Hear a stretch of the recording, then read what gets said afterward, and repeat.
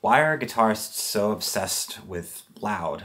And how does this all fit into context with bedroom level amplification, as much of an oxymoron as that is, as well as how does all of this fit into context with other sounds that we hear in our everyday lives? So later in the video, I'm going to be using a looper pedal, my amplifier, and this decibel meter here to run a very crude experiment to sort of see how all this stuff affects the feel, the tone, and the overall volume, and measure that at different places in my house so we can also tackle the idea of bedroom level amplification. So why are guitar players obsessed with loud?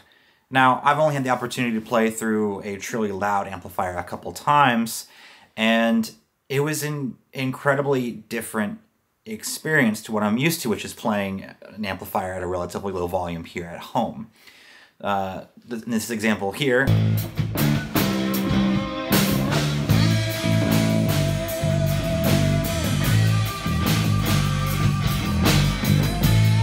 I was playing through a, a Two-Rock Burnside, which is an, an insanely loud amp. And just through playing that amplifier, it was moving air. It made the strings feel different. Um, notes compressed differently. Everything under my fingers felt different. I felt more connected to the instrument, and it seemed like nothing about the guitar setup or anything like that had changed. It was just the volume and how that weird connection, I don't know if it was a psychological thing or an actual phenomenon. It was explained better in a video I saw by that pedal show. I'll link it in the description below. But there was something about it where that connection was more immediate and everything, I felt more connected in the moment and felt like I was playing better. I was probably just being loud and obnoxious, but it, there was definitely a marked difference. As a matter of fact, in the comments below, let me know what you think. Why do you think that guitarists are always turning up and they're so obsessed with being loud? I guess it's also important to define what a decibel is. Now, I'm going to keep it very high level, a cursory Google search, um, just enough to sort of lay the groundwork. But I think it'd be more beneficial for me to take the decibel meter to different locations that are pretty common that people would run into in their everyday lives. So you can see what the readings are in those places and gain a better context of what different decibel levels sound like.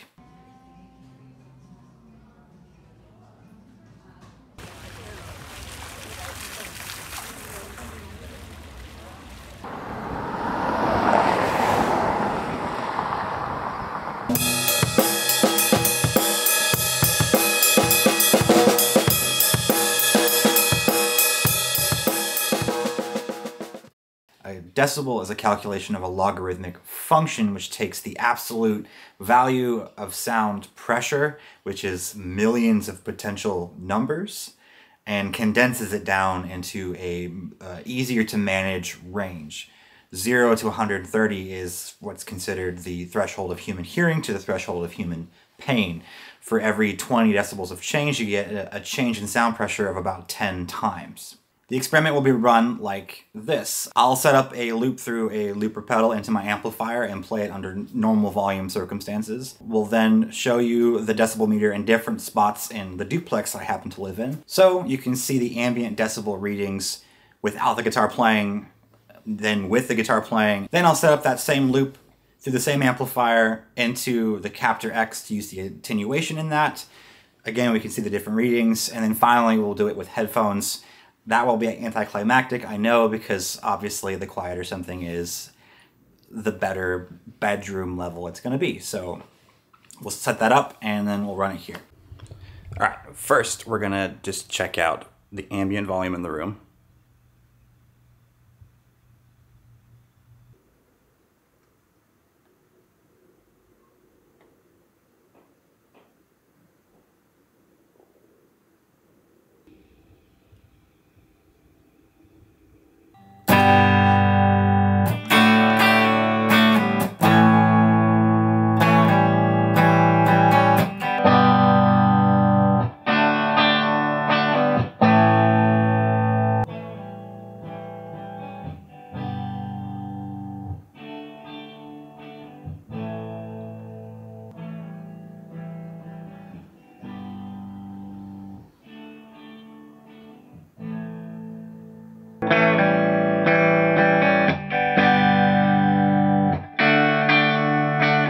Bedroom level amplification allows you to take an electric guitar and amplify it a little bit so that you're not bothering roommates or your partner or neighbors for that matter, but still able to get a more satisfying guitar experience at home. Now, there's not going to be one volume or decibel level that's going to be like the threshold for perfect bedroom level amplification because everyone's situation is different. Maybe their walls are better insulated, their neighbors live farther away, or maybe they have the luxury of living alone and they don't have to worry about bothering anybody and they can turn up as loud as they want. The next clip's going to be using the Two Notes Torpedo Captor X and it's going to be using the attenuator here on the back in the middle setting, which I believe is minus 20 dB.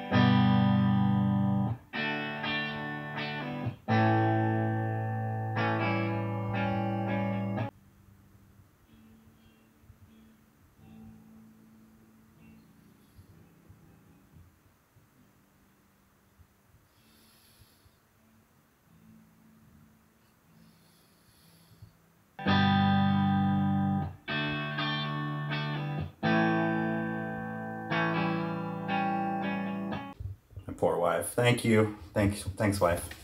So the most anticlimactic test is playing through headphones. So I've got these uh, studio headphones plugged into the Captor X into the headphone input. So all the sound is only going through the headphones here. And when I kick on the pedal,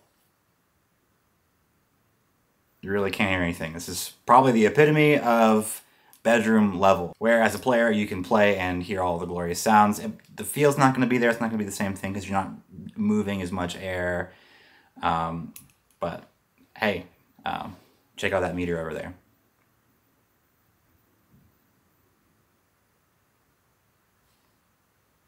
So that was the experiment, and while it was a very crude one, it helped me sort of gain a better understanding, a better grasp of decibels and volume, at least in the context of how I'm playing and through my rig. Hopefully it also allowed you to sort of start setting your own context for how this stuff sort of plays together in, in comparison to things in the normal world. If you found anything in this video interesting or entertaining at all, please consider liking, commenting, and subscribing. And as always, thank you for watching.